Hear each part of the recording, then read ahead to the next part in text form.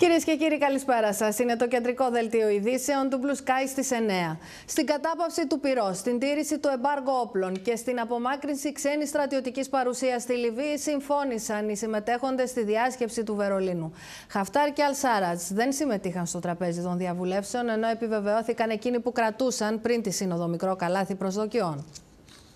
Ένα μικρό βήμα έγινε στην διάσκεψη του Βερολίνου για την ειρήνευση στη Λιβύη, με τους συμμετέχοντες να συμφωνούν μετά από πέντε ώρες διαβουλεύσεων στην συνέχιση της κατάπαυσης του πυρός, τον σεβασμό του εμπάργκο όπλων, τον τερματισμό ξένης στρατιωτικής παρουσίας στην περιοχή, καθώς και τη συνέχιση του διαλόγου στο πλαίσιο μιας νέας συνάντησης στη Γενέβη μεταξύ εκπροσώπων των δύο αντιμαχόμενων πλευρών. Zusammengekommen sind, uns verantwortlich fühlen für den weiteren Prozess, der erarbeitet werden muss, um politische Lösungen zu finden, um den Waffenstillstand einzuhalten. Das heißt, um aus einem heute ja so stark auch durch Stellvertreterleistungen gekennzeichneten Konflikt einen Prozess zu machen, in dem die Menschen in Libyen endlich wieder zu ihrem Recht kommen auf ein friedliches Zusammenleben. Από τους συμμετέχοντες, κανείς δεν έχει πραγματικό λόγο να πανηγυρίζει, καθώς όλοι παραδέχονται ότι είναι δύσκολο να ελεγχθεί η τήρηση τόσο της εκεχηρίας όσο και του εμπάργου όπλων. All participants committed to refrain from interference in the armed conflict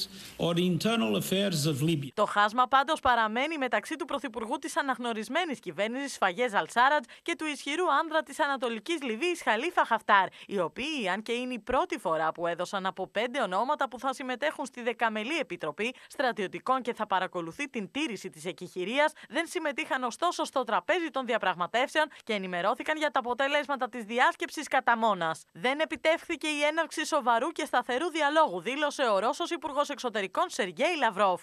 Те страны, которые имеют влияние на земле в Ливии, э, сегодня также обязались э,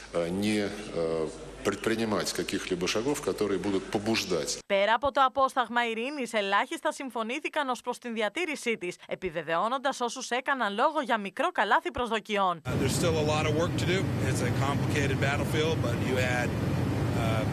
President Erdogan, President Putin, uh, Chancellor Merkel, all making a sincere commitment. Στι νέε διαδικασίε θα συμμετάσχουν και χώρε οι οποίε δεν έλαβαν μέρο στην διάσκεψη τη Κυριακή, διευκρίνησε ο Γερμανό Υπουργό Εξωτερικών Χάικο Μα. Wir wissen, dass, äh, vor- dass die Arbeit jetzt eigentlich erst begonnen hat und dass äh, sicherlich ein schwieriger und arbeitsintensiver Weg noch vor uns liegen wird. Οι ηγέτες των χωρών που συμμετείχαν στη διάσκεψη συμφώνησαν στην κρισιμότητα της κατάστασης και στην ανάγκη πολιτικής λύσης, με έντονο ωστόσο το παρασκήνιο. Ο Εμμανουέλ Μακρόν δεν αντάλλαξε ούτε ματιά με τον Ερτζέπ Ταγί Περντογάν, στοχοποιώντας τον μάλιστα ζητώντας από εκείνον να σταματήσει η αποστολή φιλοτούρκων Σύριων μαχητών στην Τρίπολη. Η Ιταλία δεν έκρυψε την επιθυμία της για διευρυμένο ρόλο στην αντιμετώπιση της λιβικής κρίσης, ενώ ο Μπόρις Τζόνσον υπογράμμισε ότι η Βρετανία θα μπορούσε να στείλει ανθρώπους και ειδικούς προκειμένου να επιτηρούν το σεβασμό μιας ενδεχόμενης κατάπαυσης του πυρός στη Λιβύη. Θετικό πρώτο βήμα χαρακτήρισε ο Νίκος Δένδια στα αποτελέσματα της διάσκεψης που πραγματοποιήθηκε χθες στο Βερολίνο για την Λιβύη. Ωστόσο, ο Έλληνας Υπουργός Εξωτερικών εξέφρασε και την ενόχληση της ελληνικής πλευράς, όχι μόνο επειδή δεν προσκλήθηκε σε αυτήν τη διαδικασία, αλλά κυρίως επειδή δεν συμπεριλήφθη στα συμπεράσματα η ακύρωση του παράνομου μνημονίου συνεργασίας Άγκυρας Τρίπολης. Στο εσωτερικό κυριαρχούν οι φωνές των κομμάτων της αντιπολίτευσης που στυλιτεύουν την απουσία της ελληνικής εκπροσώπησης από τη διάσκεψη. Την ίδια ώρα, ο Ερντογκάν ξαναχτυπά χαρακτηρίζοντας ανοησία την ελληνική πρόσκληση προς τον Χάφταρ να επισκεφτεί την Αθήνα. Στον απόϊχο της διάσκεψης του Βερολίνου πραγματοποιήθηκε την Δευτέρα το Συμβούλιο Εξωτερικών Υποθέσεων της Ευρωπαϊκής Ένωσης στι Βρυξέλλες, όπου συμμετείχε και ο Νίκος Δένδιας με τους Υπουργούς Εξωτερικών να συζητούν για την ειρηνευτική διαδικασία στη Λιβύη και τις πρόσφατες εξελίξεις στην ευρύτερη Μέση Ανατολή. Στο Ευρωπαϊκό Συμβούλιο έγινε αναλυτική συζήτηση για τα ζητήματα της Λιβύης. Είχα την ευκαιρία να τοποθετηθώ από μέρους της ελληνικής κυβέρνησης και να χαρακτηρίσω τα συμπεράσματα του Βερολίνου καταρχήν σαν ένα θετικό πρώτο βήμα. Θετικό γιατί; Θετικό γιατί βεβαιώνει τη διάθεση όλων των πλευρών να βρουν μια πολιτική λύση και θετικό γιατί επαναλαμβάνει την ανάγκη εφαρμογής του εμπάργου όπλων προς τη Λιβύη. Βεβαίως όμως είναι ένα πρώτο και μόνο ένα πρώτο βήμα. Όλα θα κριθούν από τη συνέχεια. Είχα επίσης ε, τη δυνατότητα να ε, εκφράσω την ενόχληση της ελληνικής πλευράς Όχι μόνο γιατί δεν προσκλήθηκε σε αυτή τη διαδικασία, αλλά επίσης γιατί και κυρίως δεν συμπεριλήφθησαν στα συμπεράσματα στοιχεία που να αποτελούν ρητή αναφορά στην απόφαση του Συμβουλίου, την ομόφωνη απόφαση του Συμβουλίου της Ευρωπαϊκής Ένωσης του Δεκεμβρίου. Θετική ήταν η αποτίμηση των αποτελεσμάτων της κρίσιμης διάσκεψης από την ελληνική κυβέρνηση. Έχουμε πει από την αρχή ότι θέλουμε να συμμετέχουμε σε όλα τα μεγάλα θέματα που αφορούν την Ελλάδα, ιδίως όταν αυτά εξελίσσονται στη γειτονιά μας, όπως είναι η Λιβύη, και γι' αυτό θέλουμε να συμμετάσχουμε και αυτό θα φροντίσουμε να το κάνουμε και όλο το επόμενο χρονικό διάστημα. Είτε επιβιώνει η παρούσα κυβέρνηση Αλ-Σάρατζ ως ο ισχυρός πόλος στη Λιβύη, είτε πηγαίνουμε σε μια μετάβαση πολιτιακή προς, τον, προς την Ανατολική Λιβύη και το στρατηγό Χαφτάρ και με το ένα και με το άλλο σενάριο, είμαι απολύτως πεπισμένος ότι το ζήτημα των συμφερόντων μας στην Ανατολική Μεσόγειο θα διασφαλιστεί απολύτως. Επιθυμούν ε, κατάπαυση του πυρός. Ε, η κατάπαυση του πυρός όμως για να υπάρχει πρέπει οπωσδήποτε να σταματήσουν οι ξένες παρεμβάσεις ε, μεταφοράς ε, όπλων και παραστρατιωτικών ομάδων. Αυτό είναι κάτι το οποίο την Τουρκία την ενοχλεί πάρα πολύ. Άρα ε, βρίσκεται ο Σάρετς σε μία, έτσι όπως το βλέπω εγώ χωρίς να είμαι κανένας μεγάλος στρατιωτικός αναλυτής, ε, σε αδυναμία μετά από αυτού του είδους την απόφαση. Αντιδράσεις πάντως υπάρχουν στο εσωτερικό για τις διπλωματικές κινήσεις της Ελλάδας και τα συμπεράσματα της διάσκεψης. Η Ελλάδα πρέπει να είναι παρούσα. Ήταν τεράστιο λάθος που η Ελλάδα δεν ήταν εκεί, στο Βερολίνο. Εμείς αυτό στυλιτεύσαμε και θεωρούμε ότι δικαιωνόμαστε για τις εξελίξεις. Από εκεί και πέρα, από εδώ και μπρος, για να βλέπουμε και προς το μέλλον, είναι πάρα πολύ κρίσιμο η Ελλάδα να συμμετέχει σε αυτές τις επιτροπές, στις οποίες θα συζητηθούν και ζητήματα όπως το τουρκολιβικό μνημόνιο, το οποίο γνωρίζουμε πάρα πολύ καλά ότι ε, έχει να κάνει και με τα δικά μας κυριαρχικά δικαιώματα. Ασαφές ακόμα. Ασαφές να δούμε τι πρακτικό αντίκτυπο θα έχει. Το βασικό πρόβλημα στη στάση μας απέναντι σε ό,τι ακολούθησε την παράνομη συμφωνία Λιβύης-Τουρκίας είναι ότι τρέχουμε πίσω από τα γεγονότα, ναι. πολλές φορές με ένα σπασμωδικό τρόπο και σε ό,τι αφορά τουλάχιστον αρκετές από τις κινήσεις του Πρωθυπουργού, ειδικά αυτή της εξαγγελίας Βέτο που δεν μας έχει δώσει να καταλάβουμε ακριβώς περί τίνος πρόκειται, με ξεκάθαρα επικοινωνιακό χαρακτήρα. Στο Βερολίνο δεν υπήρξε καμία απολύτως πρόοδος για την ακύρωση του παράνομου μνημονίου Τουρκία-Λιβύη. Η Ελλάδα ήταν απούσα. Η ευθύνη της κυβέρνησης είναι μεγάλη. Τρέχει πίσω από τα γεγονότα. Η διάσκεψη του Βερολίνου ούτε έφερε τελικά ούτε θα μπορούσε να φέρει λύση που θα εξασφαλίζει την ειρήνη, τη σταθερότητα στη Λιβύη και τα συμφέροντα του λιβικού λαού. Οι ευχές που αποτυπώνονται στο σχέδιο απόφασης για κατάπαυση του πυρός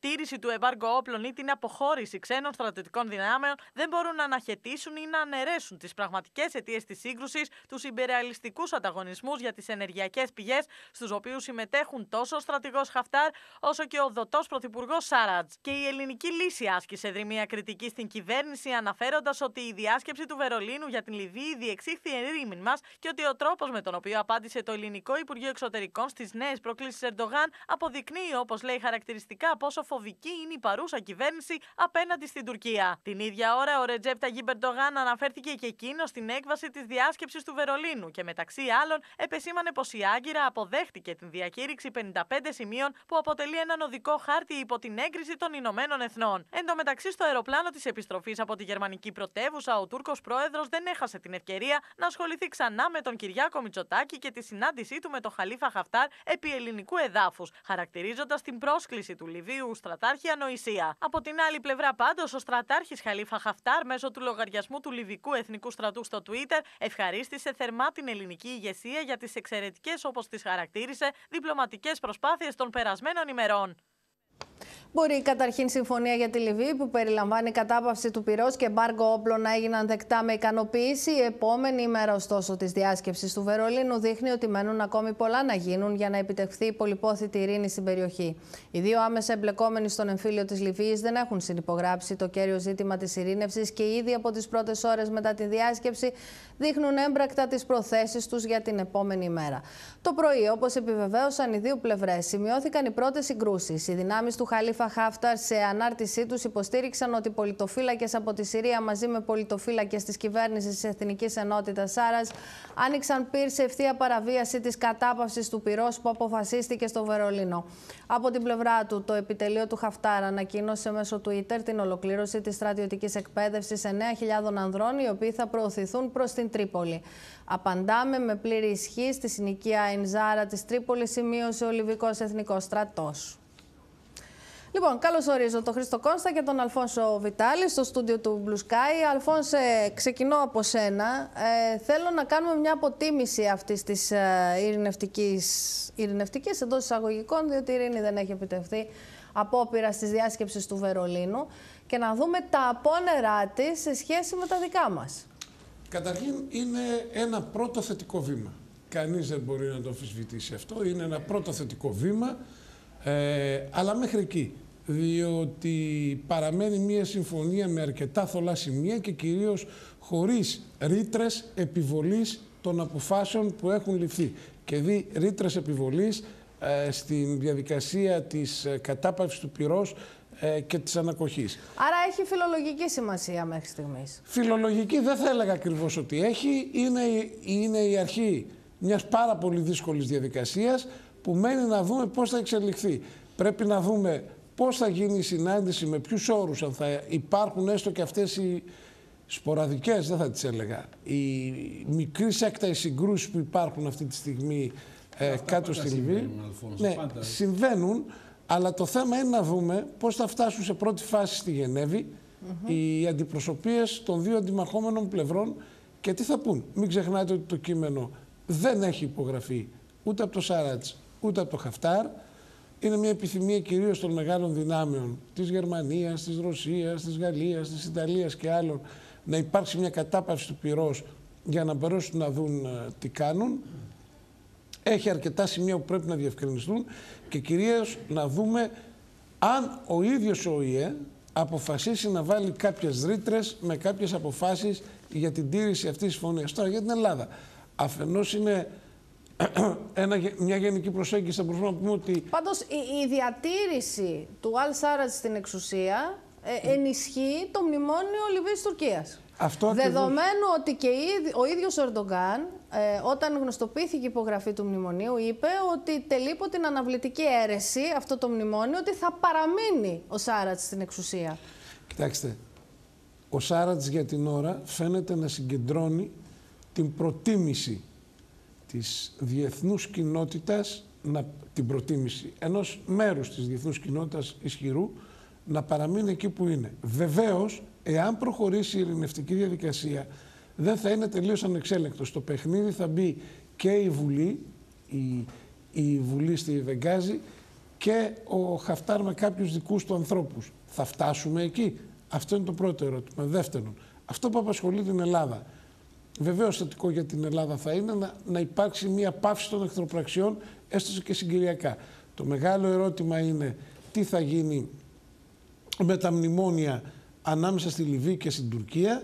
Ε, υπάρχει το υπέδαφος Ευρωπαϊκής Ένωσης όπου με αποφάσεις του Συμβουλίου Κορυφής 12 και 13 Δεκεμβρίου, αν θυμάμαι καλά, έχουν χαρακτηριστεί παράνομα και ότι δεν παράγουν νόμιμα αποτελέσματα. Οι οποίες όμως δεν επαναλήφθηκαν. Δεν ενσωματώθηκαν στην Ωραία. ανακοίνωση. Να, να, να, το δούμε λοιπόν. Να το δούμε και Οι Γερμανοί δίκιο... βέβαια ισχυρίζονται ότι δεν είναι αυτό το θέμα που συζητήθηκε. Ακριβώς αυτό, αυτό θέλω να πω. Ακούστε, υπάρχουν οι αποφάσεις Ευρωπαϊκής Ένωσης και υπάρχουν οι ανακοινώσεις μιας σειράς κρατών, μεταξύ των οποίων και οι Ηνωμένες Πολιτείες, οι οποίες αμφισβητούν την νομιμότητα αυτών των μνημονίων. Στη Γερμανία πήγαν με μια πάρα πολύ συγκεκριμένη ατζέντα. Κατάπαυση του πυρός, προσφυγικό. Αυτή ήταν η ατζέντα. Δεν θέλανε οι Γερμανοί ναι, να μπουν στη Αλλά αναγνωρίζεται ο ρόλος εγγυητής των Ερντογάν. Βεβαίως. Αυτό είναι αλήθεια. Αυτό είναι κόντρα στα ελληνικά συμφέροντα. Ακούστε. Είναι αυτό... παίκτης στην περιοχή. Αυτό είναι αλήθεια. Ο Ερντογάν έχει αναδειχθεί σε μεγάλο και κορυφαίο παίκτη στην ευρύτερη περιοχή κάνει το παιχνίδι του και υπερασπίζει πολύ καλά τα συμφέροντα της Τουρκίας. Ε, μισό λεπτό λίγο. Το θέμα. αν επιτρέπετε. Γιατί πες, πες Χρήστο, να σου πω πού το ζήτημα εδώ με το μνημόνιο. Μέχρι τον περασμένο Νοέμβριο που υπογράφηκε αυτό το ε, τουρκικο-λιβικό μνημόνιο, εμάς το τι γινόταν στην Λιβύη δεν μας ενδιέφερε καθόλου. Δεν ασχολιόμασταν. Έτσι. Έγινε αυτό το μνημόνιο συνεργασίας Τουρκία-Λιβύη και ξαφνικά αποκτήσαμε κι εμείς ένομο συμφέρον και ενδιαφέρον και αρχίσαμε και φωνάζαμε. Ε, έχω έτσι. την αίσθηση ότι δεν είναι κάπως έτσι τα πράγματα. Για λέγε. Να σου πω γιατί. Γιατί η ελληνική πλευρά παρατηρούσε σταθερά τις εξελίξεις στη Λιβύη, την αφορούσε σε μια σειρά αποζητήματα και κυρίως η ελληνική πλευρά είχε πάντα το άγχος και την αγωνία μην τυχόν η Λιβύη με την Τουρκία προσεγγίσουν και κάποιον, κάνουν κάποιο είδους συμφωνία για τις θαλάσσιες ζώνες. Ε, Αυτό έκανα. όποιον και να ρωτήσεις και στο Υπουργείο Εξωτερικών και στο Υπουργείο Άμυνας θα σου πούν ότι ήταν ένα σενάριο το οποίο το είχαν επιτάπητος. Η ελληνική πλευρά ναι, ενδιαφέρθηκε, πήγε στο Παλέρμο με την Ιταλική πρωτοβουλία. Ναι. Πήγε στο Παλέρμο με την Ιταλική πρωτοβουλία λίγο διαφορετική από ό,τι έγινε στην Γερμανία. Ναι, δεν είναι για να λέμε την αλήθεια. Η Γερμανία έγινε με μια πολύ συγκεκριμένη ατζέντα. Και αν θέλετε, ε, δεν μπορούσε να είναι διαφορετικά γιατί κανένα δεν θέλει να μπλεχτεί εκείνη τη στιγμή στον καυγά Ελλάδα-Τουρκία. Η Ελλάδα δικαίως διεκδίκησε και για τα δικά της συμφέροντα να είναι παρούσα σε αυτή τη διάσκεψη. Ε, θα μπορούσε ενδεχομένως να αποδεχθεί αυτή την πρώτη ατζέντα που είχαν στο τραπέζι οι Γερμανοί και οι άλλοι που διοργάνωσαν τη σύνοδο και να πάει εκεί έστω ως παρατηρητής για να έχει ένα λόγο. Έγινε αυτό, πάει, έφυγε, αυτό είναι χθες. Το σήμερα και αυτό που ενδιαφέρει είναι πώς θα συμμετάσχει, σε ποιες επιτροπές θα συμμετάσχει, αν συμμετάσχει η Ελλάδα και πόσο μπορεί να επηρεάσει ε, τις εξελίξεις. Διότι όσο παραμένει η κυβέρνηση Σάραζε πάνω, το μνημόνιο θα είναι ενισχύ, δεν ξέρει κανένας παρά τις φραστικές διακηρύξεις του κυρίου Χαφτάρ τι μπορεί να γίνει σε μια άλλου τύπου κυβέρνηση κτλ. Η Ελλάδα έχει όμως στα χέρια της το δεδομένο της Ευρωπαϊκής Ένωσης, Συμβούλιο Κορυφής 12-13 Δεκεμβρίου, και τις ανακοινώσεις και τις δηλώσεις καταδίκης αυτής της συμφωνίας. Κάτι που όμως για την αντιπολίτευση Χρήστο Κόνστα δεν είναι αρκετό, η οποία καταγγέλει την κυβέρνηση για ολιγορία και για, αν θες, απομόνωση, με δεδομένο ότι δεν έγινε δεκτό το αίτημά της ούτε να συμμετάσχει στην διάσκεψη του Βερολίνου, αλλά ούτε να συμπεριληφθούν και αυτά που ήθελε στις γενικότερες ανακοινώσεις. Ξαναλέω ότι μέχρι τον Νοέμβριο η Λιβύη δεν απασχολούσε την Ελλάδα. Δεν συμμετείχαμε, δεν στείλαμε στρατό. Εδώ τι έχουμε, έχουμε ένα φαινόμενο. Έχουμε τον Αμερικανό να φεύγει και κάποιος να καλύπτει το κενό που άφησε ο Αμερικανός. Ποιος είναι αυτός, ο πολύ κερδισμένος είναι ο Πούτιν και ο δεύτερος μεγάλος κερδισμένος είναι ο Ερντογάν, ο οποίος έστειλε και στρατό, δεν έστειλε δικό του στρατό, έστειλε τους ε, τζιγαντιστέ που είχε συλλάβει, αλλά έβαλε όπλα, έβαλε ενεπλάκη στην υπόθεση της Λιβύης. Η Ελλάδα όλα αυτά τα χρόνια είναι πίσω. Κάθεται και παρακολουθεί. Γκρινιάζει, θέλει, απαιτεί, αλλά ήταν απ' έξω. Σε αυτή τη συνάντηση λοιπόν του Βερολίνου, όπου ο πρώτος στόχος ήταν η ειρήνευση και δεύτερος στόχος ήταν να υπάρξει ένα εμπάργκο στις πωλήσεις όπλων, με το οποίο θα υπάρχει αυτή η Επιτροπή 5C5 του ΟΗΕ και όλα τα υπόλοιπα, Καταρχήν επετεύθη. Οι πληροφορίες μου λένε ότι οι δύο, ο, Φαγέ, ο, Σάρα, ο Σάρας και ο Χαφτάρ, όχι δεν συνομίλησαν, δεν αντάλλαξαν βλέμμα Αλήθεια. κατά τη διάρκεια αυτής της συνάντησης. Και από ό,τι φαίνεται, ειρηνευτική διαδικασία πολύ δύσκολο να υπάρξει. Τώρα πρέπει να συμφωνήσουν και μάλιστα να συγκυβερνήσουν, αν είναι δυνατόν. Γιατί αυτοί που φαντάζονται μια ειρήνευση, ε, φαντάζονται έναν συμβιβασμό, ε, ότι θα καθίσουν μαζί, θα μοιραστούν κάπως ε, τα, τα, τα, κυβερνητικά χαρτοφυλάκια, μια οικουμενική κυβέρνηση κτλ. Δεν υπάρχουν αυτά από δύο ανθρώπους οι οποίοι μισούνται θανάσιμα. Επομένως, πρώτος στόχος είναι να σταματήσουν οι εχθροπραξίες για να μην σκοτώνεται άλλος κόσμος. Δεύτερο είναι να μην πουλούν τα όπλα. Αν επιτευχθούν αυτά, μετά στην τρίτη φάση, στο πώς θα υπάρξει η αξιοποίηση των συνόρων κτλ., η Ελλάδα πρέπει να έχει ρόλο. Δεν πήγαμε στο Βερολίνο, ναι, χάσαμε, αλλά από εδώ και πέρα πρέπει να έχουμε λόγο. Λοιπόν, πάμε να προχωρήσουμε γιατί αυτή η ιστορία σηματοδοτεί ενδεχομένως και αλλαγή της τάσης της ελληνικής κυβέρνησης απέναντι σε, σε πολλά άλλα ζητήματα. Θα τα δούμε στη συνέχεια. Αυξάνεται η ένταση στις ελληνοτουρκικές σχέσεις από την πλευρά της Τουρκίας με τις νέες προκλήσεις του Ρετζέπ Ταγί Περτογκάν. Η Κρήτη δεν έχει φαλοκρηπίδα, τόνισε σε δήλωσή του ο Σουλτάνος, σημειώνοντας με νόημα ότι η Τουρκία έχει την μεγαλύτερη ακτογραμμή στην Ανατολική Μεσόγειο. Την ίδια ώρα έντονες είναι οι αντιδράσεις της αντιπολίτευσης, ενώ σκληρή ήταν η ανακοίνωση του Υπουργείου Εξωτερικών της Αιγύπτου. Προειδοποιεί την Τουρκία για τις επιπτώσεις οποιονδήποτε μονομερών μέτρων που παραβιάζουν τα κυπριακά δικαιώματα και απειλούν την ασφάλεια και τη σταθερότητα της περιοχής της Ανατολικής Μεσογείου. Την ώρα που το Γιαβούς βρίσκεται στο οικόπεδο 8 τη Κυπριακής ΑΟΣ, το κρεσέντο εμπριστικών δηλώσεων από την πλευρά της Τουρκίας καλά κρατεί. Ο Ρετζέπτα Περτογάν, αναφερόμενος στο θέμα των τουρκικών γεωτρήσεων και στοχοποιώντας την Κρήτη, ανέφερε πως η Άγκυρα θα προχωρήσει στην αγορά και τρίτου γεωτρητικού σκάφους. Ενώ υπογράμμισε πως το αέριο που θα εξαχθεί από την θαλάσσια περιοχή της Κύπρου θα μπορεί να διαμοιραστεί ισομερό σε όλες τις εμπλεκόμενες πλευρές. Έχουμε την μεγαλύτερη ακτογραμμή στην Ανατολική Μεσόγειο και αυτό μας προσφέρει ξεχωριστές ευκαιρίες μιλούν για την υφαλοκρηπίδα γύρω από το νησί της Κρήτης. Δεν υπάρχει όμως υφαλοκρηπίδα γύρω από τα νησιά. Αυτό αφορά μόνο στα χωρικά ύδατα. Στην περίπτωση αυτή θα υπάρχει μία αντίδραση, θα υπάρχουν αντίμετρα εκ μέρους του ελληνικού πολεμικού ναυτικού, το οποίο θα αποτρέψει την οποιαδήποτε διέλευση σε αποκλειστική οικονομική ζώνη, στο μέτρο που αυτό θα συνιστά παραβίαση του διεθνούς δικαίου. Ενοχλήθηκε προφανέστατα από το γεγονός ότι ήρθε ο κύριος ε, Χαφτάρ εδώ αμέσως πριν πάει στην uh, διάσκεψη του Βερολίνου. Ενδεχομένως να ενοχλήθηκε και σήμερα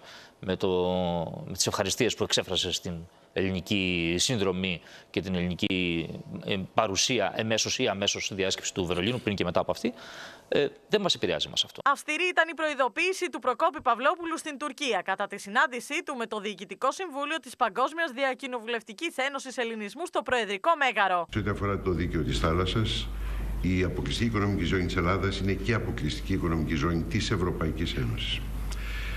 Αυτό πρέπει να το αντιληφθεί περισσότερο η Ευρωπαϊκή Ένωση. Βεβαίως έχουμε τη συμπαράστασή της, αλλά ίσως να χρειαστεί στο μέλλον και πρέπει να το κάνει η συμπαράσταση αυτή να γίνει περισσότερο ενεργή προς κάθε κατεύθυνση.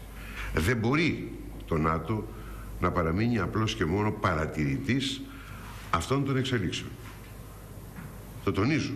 Αυτό είναι προς όφελος όχι μόνο της Ελλάδας, αλλά προς όφελος της Ευρωπαϊκής Ένωσης και του ιδίου του ΝΑΤΟ, γιατί όταν παραβιάζεις το διεθνές δίκαιο από μια σύμμαχο μέσα στο πλαίσιο του ΝΑΤΟ, στην ουσία βάλει, ε, αυτή η χώρα βάλει εναντίον του ΝΑΤΟ. Μπροστά στις νέες προκλήσεις της Άγκυρας, τα κόμματα της αντιπολίτευσης αντιδρούν, με τον ΣΥΡΙΖΑ να χαρακτηρίζει μέγιστη πρόκληση το γεγονός ότι ο πρόεδρος της Τουρκίας δίνει συμβουλές στην Ελλάδα για την περιφερειακή ειρήνη και σταθερότητα. Η Φόφη γεννηματά άσκησε και εκείνη κριτική στην κυβέρνηση και τόνισε ότι πρέπει αμέσως να αντιμετωπιστεί η επιθετικότητα της Άγκυρας. Σκληρή γλώσσα χρησιμοποίησε και ο Δημήτρης Κουτσούμπας. Το δόγμα διαχρονικά όλων των κυβερνήσεων ότι όσο η Ελλάδα είναι το καλό παιδί των ΗΠΑ, του ΝΑΤΟ, τόσο εξασφαλίζει τα σύνορα και τα κυριαρχικά της δικαιώματα έχει πλέον χρεοκοπήσει. Την ίδια ώρα νέα αυστηρή προειδοποίηση εξέδωσε η Αίγυπτος, κάνοντας λόγο για μονομερείς παράνομες ενέργειες που απειλούν την ασφάλεια και τη σταθερότητα στην Ανατολική Μεσόγειο, στον απόϊχο της ανακοίνωσης της Τουρκίας για γεωτρήσεις στην καρδιά της Κυπριακής ΑΟΣ.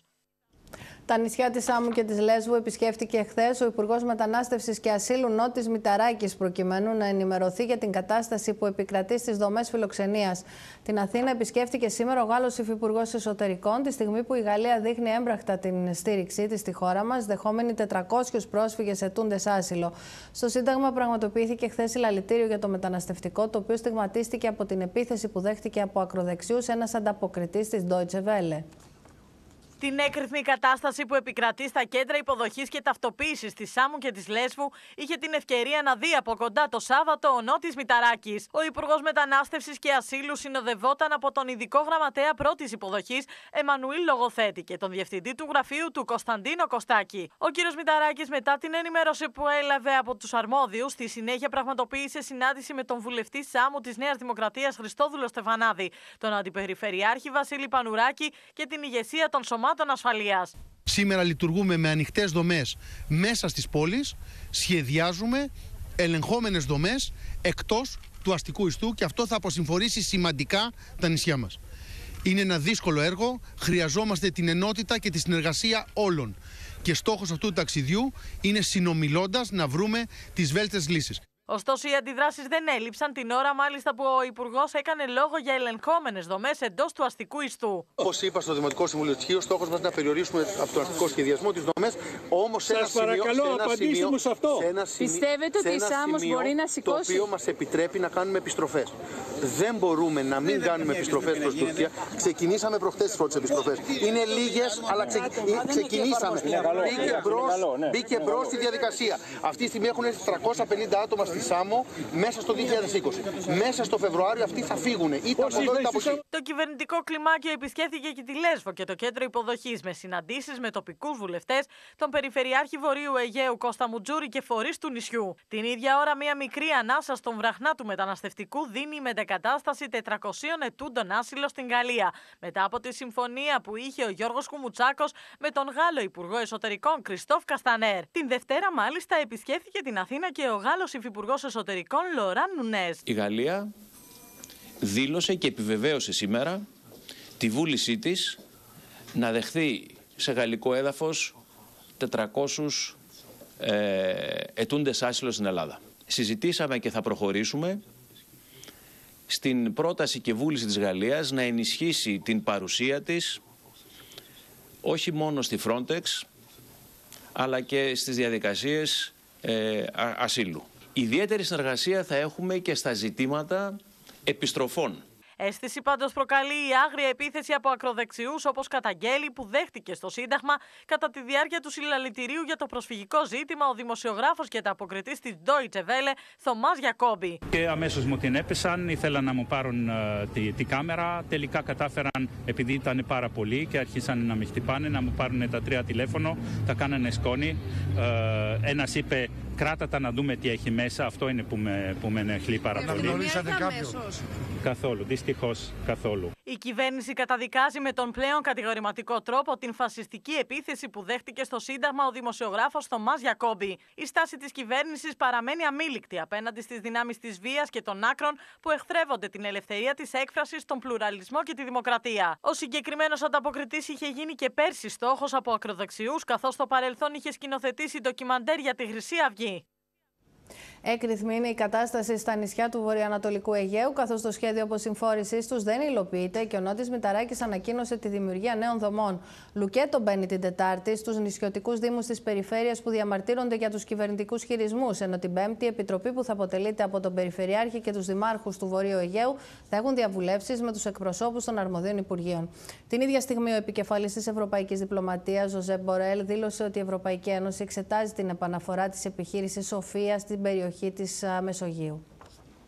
Κόκκινο έχει χτυπήσει η αγωνία στους κατοίκους των νησιών του Βορειοανατολικού Αιγαίου μετά τις ανακοινώσεις του Υπουργού Μετανάστευσης και Ασύλου Νότι Μηταράκη για δημιουργία νέων ελεγχόμενων δομών εντός του αστικού ιστού. Την ώρα που η αποσυμφόρηση των νησιών δεν παίρνει ακόμα σάρκα και οστά. Κατηγορηματική άρνηση στην υποκατασκευή δομή κράτησης στην Σάμο εξέφρασε και ο Δήμαρχος του νησιού. Δεν δεχόμαστε τόσο την κατασκευή ενός τόσο μεγάλου κέντρου με αυτά τα χαρακτηριστικά πάνω στο νησί και στο Δήμο μας και βέβαια το στοιχείο το οποίο δεν υπήρχε στις δηλώσεις του και αυτό είναι το οποίο μας ανησυχεί σπόδρα είναι ότι μάλλον έχει εγκαταλειφθεί η πολιτική μαζικής αποσυμφόρησης των νησιών, των νησιών διότι δεν ανεφέρθη καθόλου σε αυτό το ζήτημα του απεγκλωβισμού. Οι διαμαρτυρίες είναι δικαιολογημένες. Όταν έχετε τόσο μεγάλο βάρος, ιδίως στα νησιά του Βορειοανατολικού Αιγαίου, είναι δικαιολογημένες οι διαμαρτυρίες. Εμείς τι προσπαθούμε να εξηγήσουμε, ότι το σχέδιο αυτό θέλει κάποιο χρονικό διάστημα να αποδώσει mm. καρπούς.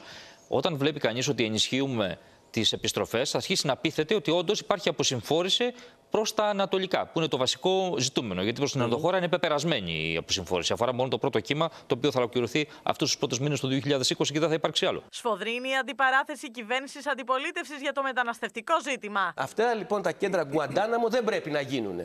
Και μάλιστα βεβαίως. Είναι απάνθρωπα, είναι ρατσιστικά. Στα νησιά, στα νησιά αυτό τους κάνετε στα νησιά αυτή τη στιγμή. Το να χαρακτηρίζει λάθος μια άλλη πολιτική δείχνει ότι το πρόβλημα δεν ήταν το να έχει κανείς υπουργείο ή να μην έχει Υπουργείο, αλλά να έχει τη σωστή πολιτική. Η σωστή πολιτική για μας είναι αυτή που εκφράζεται σε αυτούς τους τέσσερις άξονες που σας είπα και θα την εφαρμόσουμε μέχρι τέλου χωρίς επαναχωρήσεις. Δεν γίνεται να αντιμετωπίσουμε μόνοι μας το θέμα. Ακόμα και να φυλάξουμε καλά τα σύνορα. Εάν δεν το κάνουμε ευρωπαϊκό, εάν δεν παρεύει η Ευρωπαϊκή Ένωση, εάν δεν αλλάξει η Συμφωνία Ευρωπαϊκής Ένωσης Τουρκίας και αν δεν πάρει και η Ευρώπη και οι ευρωπαϊκές χώρες μέρος των ε, προσφύγων, τότε πρακτικά έχουμε οδηγηθεί σε επικίνδυνες καταστάσεις. Η Ευρωπαϊκή Ένωση πάντως εξετάζει την επαναφορά της επιχείρησης Σοφία, η οποία δημιουργήθηκε το 2015 για την αντιμετώπιση των διακινητών και της εμπορίας ανθρώπων στη Μεσόγειο. Ωστόσο, είχε διακοπεί το 2019 καθώς η Ιταλία εξαιτίας του Ματέο Σαλβίνη είχε ασκήσει βέτο στην χρήση πλοίων από την επιχείρηση, εξοργισμένη τότε από το γεγονός ότι μετέφερε τους μετανάστες που διασώζονταν στις ακτές της. I think we, we have to revive it, yes.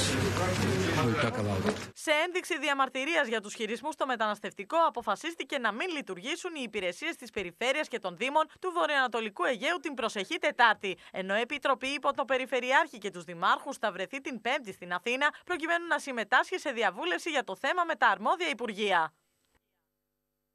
Της τρομοκρατίας αναφέρθηκε ο Πρωθυπουργός σε εκδήλωση μνήμης που πραγματοποιήθηκε στο Πολεμικό Μουσείο, σημειώνοντας ότι η δολοφονία του Παύλου Μπακογιάννη πριν από 30 χρόνια ασφράγισε όλους τους ανθρώπους γύρω του.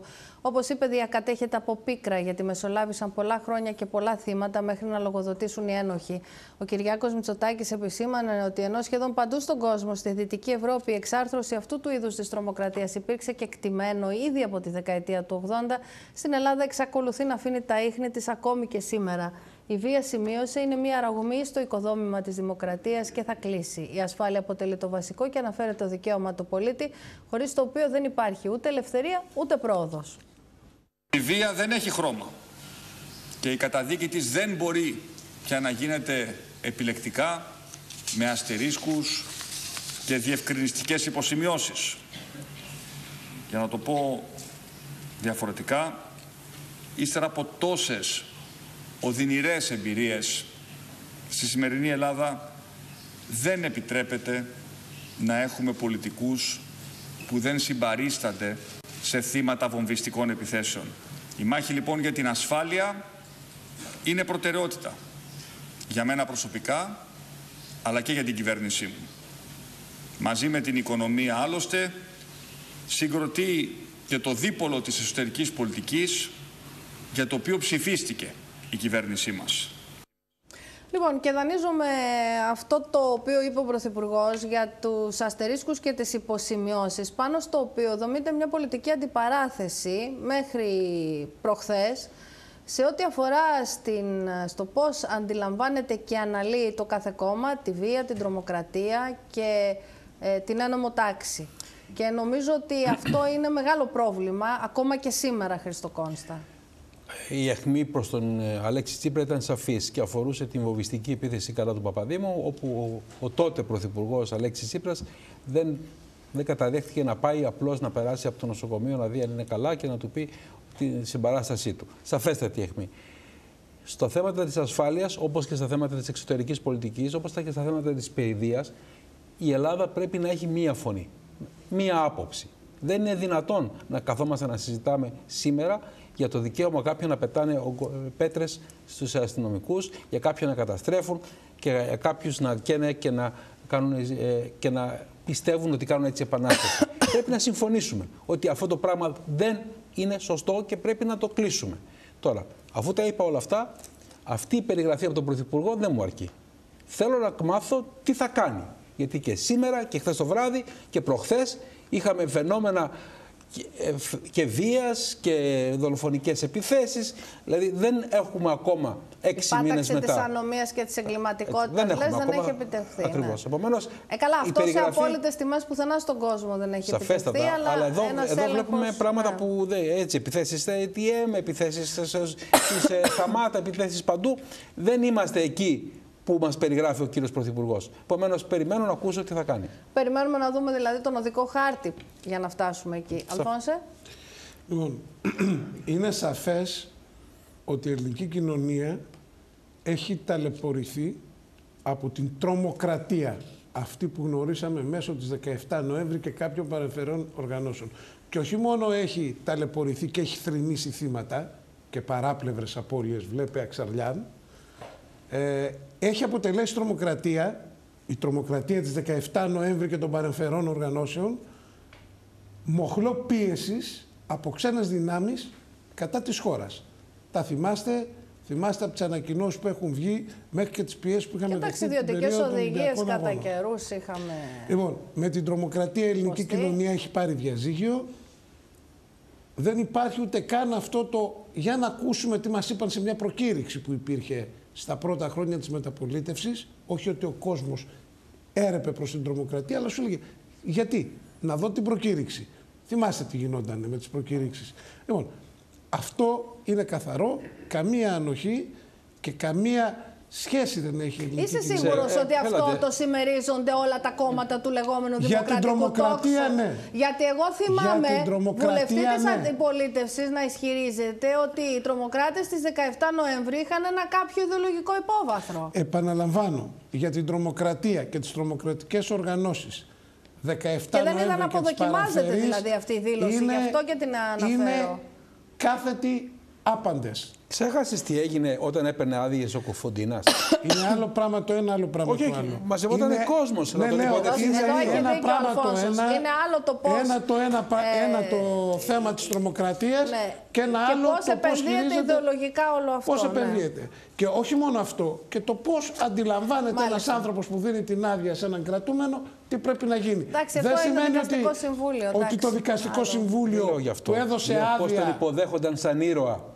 Έβγαινε από τη φυλακή ο δο, κατά συρροή Εδώ δολοφόνος έχεις δίκιο. και Έχεις μαζευόντουσαν δίκιο. να το χειροκροτήσουν. Αλλά, αλλά λέω Και αυτό και το επαναλαμβάνω, γιο του. το δικαστικό συμβούλιο δεν σημαίνει ότι υιοθετούσε Μα την δεν είπα εγώ, τρομοκρατία. δεν ασχολούμαι με το Δικαστικό Συμβούλιο. Ασχολούμαι με τους ανθρώπους που μαζευόταν Ναι. να υποδεχθούν Για να- Πώς τον ήταν κατασυρωή Για να δολοφόνο. βάλουμε, για να Πώς βάλουμε... ήταν αυτή; Ε, όσοι κι αν ήταν. Μια κουφτά Όταν άτομα έκανε οι φόρτα οποίοι στην δεν Αθήνα. ξέραν είχαν Όταν σχέση με είναι κόμματα. μέλη και στελέχη κόμματος που λέγεται ή θέλει να ανήκει στο λεγόμενο δημοκρατικό τόξο, λυπάμαι Αλφόνσε, αλλά δεν είναι αποδεκτό. Δεν υπάρχει τέτοιο Ναι. πράγμα. Και μην Λοιπόν. ξεχνάτε ότι κάποτε επιχειρήθηκε να εμπλακούν κορυφαία στελέχη του Πασόκ σε αυτές τις υποθέσεις. Μην Ναι, τα ξεχνάμε. άλλο αυτό. Και έχουμε κάνει Ε, σε κακό. αυτό- σε αυτό- βάζουμε, σε τα, αυτή μα- τη μάχη- βάζουμε τα χέρια μας μόνοι μας Ναι, και έχουν βγάζουμε τα υπάρξει και μάτια μας. υπερβολές. Μία από αυτές τις υπερβολές Με την είναι τρομοκρατία να η επιχειρηθεί ο ελληνική ιδεολογικός κοινωνία μανδύας στους, έχει ε, τελειώσει. ποινικούς, γιατί ποινικοί ήταν τελικά. Ναι, βεβαίως. Έτσι, Αλλά το λέω, μόνο με που την δεν είχαν ήταν τρομοκρατία ιδεολογικό υπόβαθρο. Και το πολιτικό σύστημα και η ελληνική κοινωνία έχουν τελειώσει. Τέλος. Τα παλιόπαιδα Δεν που τα υπάρχει. σπάνε στο κουκάκι δεν έχουν ανθρώπους που τους υποστηρίζουν; Παιδιά, που αυτή- κάνουν δίθεν επανάσταση; Άστο, ε. Που χτυπάνε άλλο τους πράγμα η αστυνομικούς. τρομοκρατία, άλλο ναι. πράγμα η έκνομες Λοιπόν, παράκτης. ε, αυτό Μα είναι δεν τώρα είναι. στην Είναι άλλο βία και πράγμα. την πραγματικότητα. Λοιπόν, αγαπητοί συνάδελφοι, σας ευχαριστώ πολύ που ήσασταν μαζί μου απόψε. Προχωρούμε, κυρίες και κύριοι, σε ξεκαθάρισμα λογαριασμών μεταξύ μαφιόζικων ομάδων από το Μαυροβούνιο. Αποδίδουν σερβικά μέσα μαζικής ενημέρωσης τη δολοφονική επίθεση που έγινε χθες σε ταβέρνα στη Βάρη. Τα δύο άτομα που εκτελέστηκαν εμψυχρό ανήκαν σε μαφιόζικη φατρία που αποκαλείται Σκάλιαρη, όπως διατείνεται εφημερίδα του Βελιγραδίου.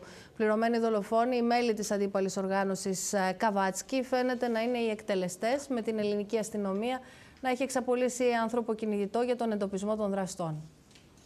Τον τρόμο έσπηραν το βράδυ της Κυριακής στην Βάρη. Τέσσερις ένοπλοι που εισέβαλαν στο κέντρο στα Βλάχικα φορώντας μαύρες κουκούλες. Άνοιξαν πυρ και εκτέλεσαν εμψυχρό δύο άνδρες που έτρωγαν με τις οικογένειές τους. Ήμασταν όλοι εκεί. Ήμασταν όλοι εκεί και δεν ξέρω, μπήκανε τέσσερα άτομα και ακούω μπαμ μπαμ μπαμ και σηκώθηκα και έφυγα, τρέχοντας. Αμέσως μετά τα πυρά, ο ένας κατέληξε και ο δεύτερος έδινε μάχη για να κρατηθεί στη ζωή, αλλά κατέληξε στο νοσοκομείο Ασκληπιό Βούλας. Θύμα των πυροβολισμών και μια γυναίκα η οποία νοσηλεύεται εκτός κινδύνου. Οι δράστες, ωστόσο, κατάφεραν να διαφύγουν με αυτοκίνητο από το σημείο. Μαζί είχε 5-6 παρέες μέσα. Ναι, και φοβηθήκανε όλοι.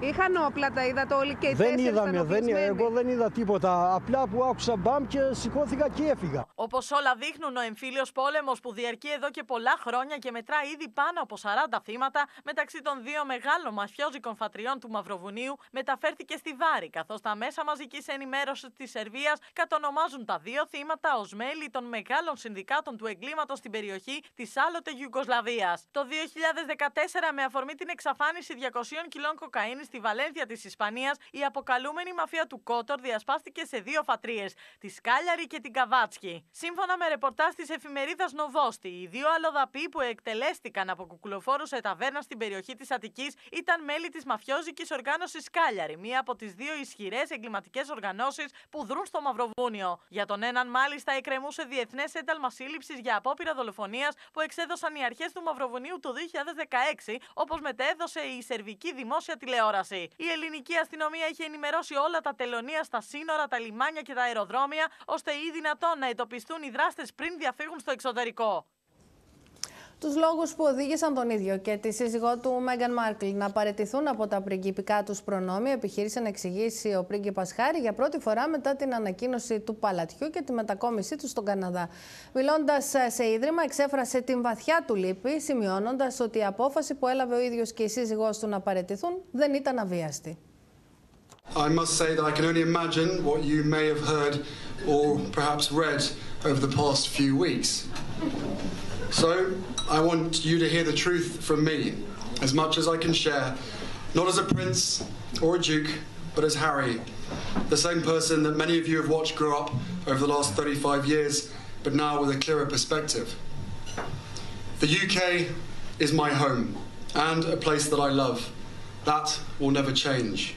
The decision that I have made for my wife and I to step back is not one I made lightly. It was so many months of talks after so many years of challenges. And I know I haven't always gotten it right, but as far as this goes, there really was no other option. What I want to make clear is we're not walking away. And we certainly aren't walking away from you. Our hope was to continue serving the Queen, the Commonwealth, and my military associations, but without public funding. Unfortunately, that wasn't possible. Και στο σημείο αυτό, κυρίες και κύριοι, το δελτίο μας ολοκληρώθηκε. Ακολουθεί η πρόγνωση του καιρού και στη συνέχεια εκπομπή παρεμβάσεις με τον Γιάννη Παπαδόπουλο. Να είστε καλά, να έχετε ένα όμορφο βράδυ. Γεια σας.